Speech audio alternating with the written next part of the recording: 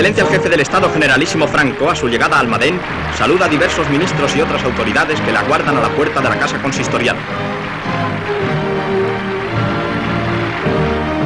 En el balcón del ayuntamiento y tras haberle sido impuesta la primera medalla de la ciudad, Franco pronuncia un importante discurso que es acogido con muchos aplausos.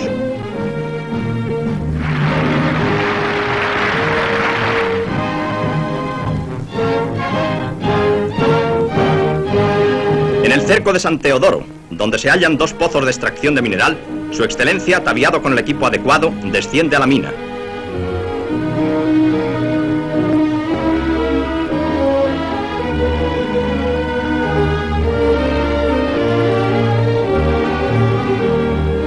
En el piso 15, a 411 metros de profundidad, se halla la planta nueva que se va a mecanizar y cuya explotación se halla en marcha desde hace un año.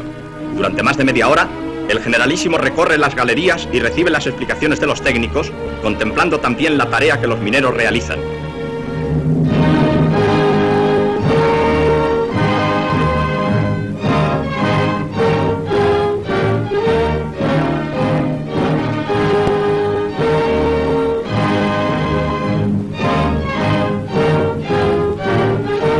Sale después al exterior y a continuación se dirige al cerco de buitrones, donde están emplazados los hornos de destilación del mineral.